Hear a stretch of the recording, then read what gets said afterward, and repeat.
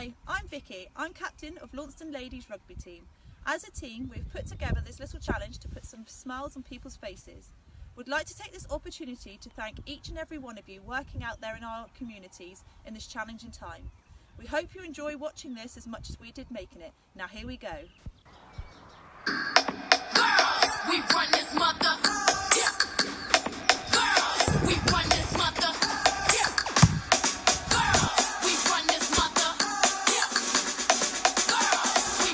mother.